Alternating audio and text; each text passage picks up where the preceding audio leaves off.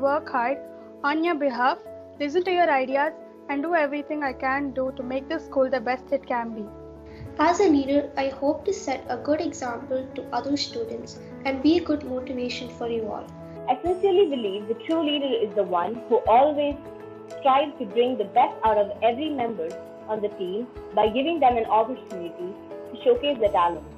today, hoping that by the end of my speech, you will be fully convinced in voting for me. If I get elected as the Ganga House captain, I will make sure that others also get the chance to participate in different competitions. As a candidate for Yamuna House captain, I am having good attitude towards everyone. If I am elected, I will make things happen. I will make sure that everyone gets a fair and equal opportunities. There are so many hidden talents within us. I would like to help each and every one of you to show those talents.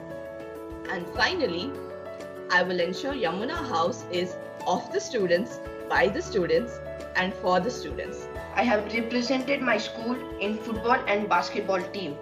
I am campaigning for the position of captain for the Kaveri House. If I were to be elected as a captain, I will use my talents and skills to be a good leader and do the best for my house. If I happen to become the captain, I promise that I would lead, guide, and also learn from my fellow teammates. Allow me to be your voice. Vote for me. and I'm hoping everyone participates enthusiastically in this process. Uh, I think the campaigning today was really good, and further, uh, all the best to all the candidates who are contesting in the elections. And thank you.